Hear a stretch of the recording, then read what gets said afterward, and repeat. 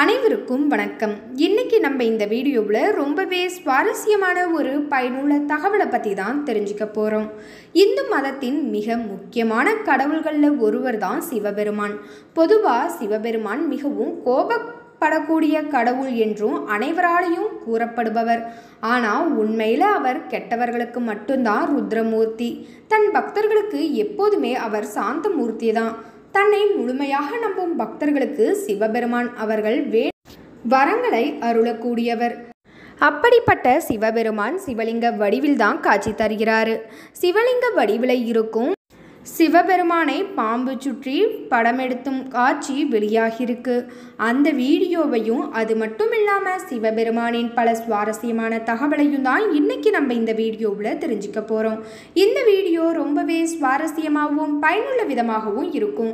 So கடைசி வரைக்கும் skip பண்ணாமல் முழுசாக பாருங்கள் நீங்கள் இன்னும் உற்சாகம் டிவி சேனலை சப்ஸ்கிரைப் பண்ணலைன்னா கீழே இருக்க ரெட் கலர் பட்டனை கிளிக் பண்ணி சப்ஸ்கிரைப் பண்ணிடுங்க. அப்படியே பக்கத்தில் இருக்கிற நோட்டிஃபிகேஷனுக்கான பெல்லைக்கானையும் மறக்காமல் கிளிக் பண்ணிடுங்க. வாங்க வீடியோக்குள்ளே போகலாம்.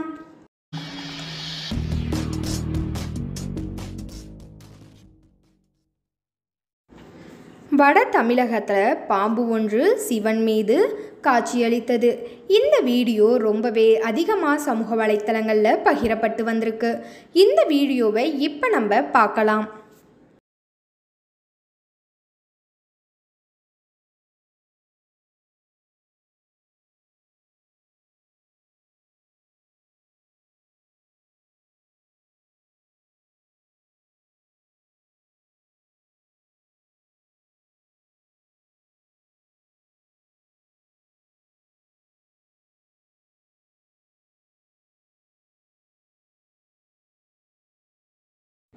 ஒவ்வொரு கடவுளுடைய உருவத்திற்கும் ஒரு தனித்துவம் இருக்கும். அந்த வகையில் சிவபெருமானின் உருவம் என்பது ரொம்பவே தனித்துவமாகவும் கம்பீரமாகவும் இருக்கும். விபூதி பூசிய நெற்றி அதில் நெற்றிக்கண் தலையில் கங்கை ருத்ராட்ச மாலை கழுத்தில் பாம்பு என சிவபெருமானின் உருவமே நம்மை சிலிர்ப்படைய வைக்கும். அந்த அளவில் கம்பீரத்தை அதிகரிக்கும் ஒரு விஷயம் அவருடைய கழுத்தில் இருக்கும் பாம்பு தான் சிவபெருமானின் கழுத்தில் பாம்பு இருக்க பல கதைகளும் காரணங்களும் இருக்கு. அதை தான் அடுத்ததாக நம்ம இப்போ பார்க்க போகிறோம் பாம்பு இல்லைனா நாகங்கள் என்பது ஆரம்பம் முதல்லையே இந்து மதத்தில் போற்றத்திற்கூடிய ஒரு உயிரினமாகவே பார்க்கப்படுது. பரவலாக நிலவும் ஒரு நம்பிக்கை என்ன அப்படின்னு பார்த்தீங்கன்னா சிவபெருமான் பார்க்கடலை கடைந்து ஆழக்கால விஷத்தை குடித்ததில் இருந்துதான் பாம்பு அவருடைய கழுத்தில் இருப்பதாக சொல்லப்பட்டிருக்கு. தொண்டை பகுதியில் நீளம் பாய்ந்த சிவபெருமான் அந்த தருணத்தில் இருந்து தான் நீலகண்டன் என்று பெயர் பெற்றார். சிவபெருமானுடைய கழுத்தில் பாம்பு இருப்பது பிறப்பு மற்றும் மீளுருவாக்கம் என்னும் முடிவில்லா வாழ்க்கை சக்கரத்தை குறிக்குது. மேலும் கழுத்தில் அணியும் பாம்பானது நமக்குள்ளே இருக்கும் ஈகோவை எப்படி கட்டுப்படுத்த வேண்டும் என்பதை குறிக்கும் விதமாக இருக்கு அப்படின்னே சொல்லலாம். சில குறிப்புகளில் என்ன சொல்லியிருக்காங்க அப்படின்னு பார்த்தீங்கன்னா சிவபெருமானிற்கும் பார்வதி தேவிற்கும் திருமணம் நடந்தபோது தான் பாம்பு அவருடைய கழுத்திற்கு வந்ததாக சொல்லியிருக்காங்க. திருமணத்தின் போது சிவன் பாம்பை பார்வதி தேவிக்கு அன்பளிப்பாக அளித்தார்.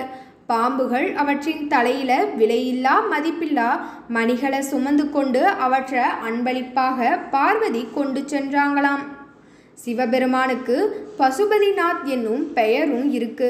அதன் பொருள் என்ன அப்படின்னு பார்த்தீங்கன்னா உயிர்களுக்கான கடவுள் அப்படின்னு அர்த்தம். அனைத்து விலங்குகளையும் கட்டுப்படுத்துபவர். பொதுவாக மனிதர்களுக்கு பாம்பு என்றாலே பயம். அதனால தான் சிவன் பாம்பை தன் கழுத்தில் அணிந்துள்ளதாகவும் சொல்லப்படுது. சிவன் கழுத்தில் பாம்பு இருப்பதற்கு பல கதைகள் பல காரணங்கள் இருக்கு. சிவன் பாம்பை கழுத்தில் அணிகலனாக அணிந்துள்ளாரு. பாம்பு பயம் மற்றும் மரணத்தை வழங்கக்கூடியது.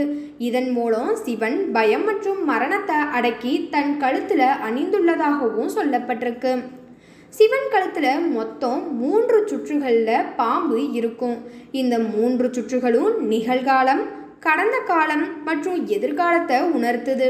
இது சிவபெருமானின் முக்காலத்தை உணர்த்தும். அதனை கட்டுப்படுத்துபவர் என்று கூறப்பட்டிருக்கு. ஒருமுறை பாம்புகள் ஆபத்தில் இருந்தபோது அதை பாதுகாப்பதற்காக சிவபெருமானை அணுகினாங்க. சிவபெருமானும் அவற்றை பாதுகாக்கும் பொருட்டு தான் கைலாயத்திற்குள் தங்க அனுமதித்தாங்க. இருந்தாலுமே அதிக குளிரின் காரணமாக அவை கதகதப்பிற்கு சிவபெருமானின் உடல்ல சுற்றி கண்டது. சிவபெருமானும் அவற்றின் உயிரை காப்பாற்ற அதற்கு அனுமதி அளித்தது. உலகில தீய சக்திகளின் உருவமாக பாம்பு கருதப்படுது. பாம்பை தன் கழுத்தில் சுற்றி வைப்பதன் மூலம் சிவன் நமக்கு என்ன சொல்கிறாரு அப்படின்னு பார்த்தீங்கன்னா தன்னை சரணடைந்தவர்கள் எந்தவித தீய சக்திகளும் நெருங்காது அப்படின்னு கூறுகிறாரு. பாம்புகள் பேராசை மற்றும் பொறாமையின் பிரதிபலிப்புகளாம்.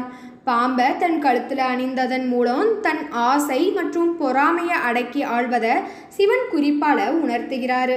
சிவபெருமான சரணடைந்ததன் மூலம் வாசுகி பாம்பு தன் விஷத்தை மாணிக்க கல்லாக மாற்றக்கூடிய திறனை பெற்றிருக்காம். இதன் காரணமாக தான் மற்ற பாம்புகளும் சிவன் கைகளில் ஆபரணங்களாக மாறியிருக்கு. இது உணர்த்துவது என்ன அப்படின்னு பார்த்தீங்கன்னா தன்னை சரணடைந்தவர்கள் கடந்த காலத்தில் எவ்வளவு மோசமானவர்களாக இருந்தாலும் அவர்களுடைய மனது இப்போது தூய்மையாக இருந்தால் சிவபெருமான் விலை மதிப்பில்லா நற்குணத்தை வழங்குவார் அப்படின்றது தான் இது போலவே சிவபெருமானுக்கு பார்வதி தேவி அல்லாமல் கங்கா தேவியும் மனைவிதான். அவர் அதனால தான் கங்கையை தன் தலையில் மறைத்து வைத்திருக்கார் என்று பலரும் கூறுவதுண்டு. ஆனால் உண்மை என்ன அப்படின்னு பார்த்தீங்கன்னா அவங்களுக்கு பார்வதி தேவி மட்டுமே மனைவி. அப்படி இருக்க அவங்க ஏன் கங்கையை தன் தலையில் வைத்திருக்காங்க அப்படின்றத தெரிஞ்சுக்கலாம் வாங்க. இன்று போல பழங்காலத்தில் கங்கை பூமியில் ஓடுவது கிடையாது. ஆகாயத்தில் மட்டுமே ஓடியது. அதனால தான் ஆகாய கங்கை என்று பெயர் பெற்றிருக்கு. அந்த சமயத்தில் பகிரதன் என்ற அரசன் தன் முன்னோர்களின் ஆத்மா சாந்தியடைய என்ன செய்ய வேண்டும் என்று முனிவர்களிடம் கேட்டாங்க. அதற்கு அவர்கள் உன் முன்னோர்களின் அஸ்தியை கங்கையில் கரைத்தா அவர்களின் ஆத்மா சாந்தி அடையும் அப்படின்னு சொன்னாங்க. இதனால கங்காதேவியை நோக்கி பகிரதன் கடும் தவம் புரிந்தாங்க. பகிரதனின் தவத்தை மெச்சிய கங்கை அவன் முன் காட்சியளித்து என்ன வரம் வேண்டும் என்று கேட்டாங்க. அதற்கு பகிரதன் தாங்கள் பூமியில் ஓட வேண்டும் தாயே. அப்போதுதான் என் முன்னோர்களின் அஸ்தியை நான் கரைத்து அவர்களின் ஆத்மாவை சாந்தியடைய செய்ய முடியும் அப்படின்னு சொன்னார்.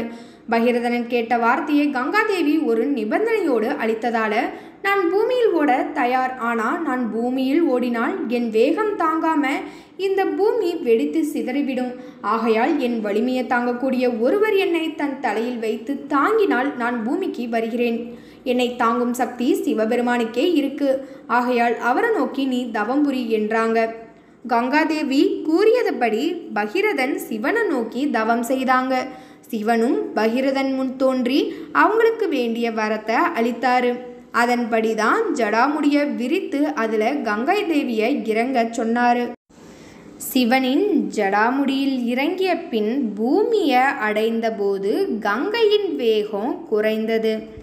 இதனாலேயே கங்கையை சிவன் தன் தலையில் வைத்திருக்காரு அப்படின்னு சொல்லப்பட்டிருக்கு.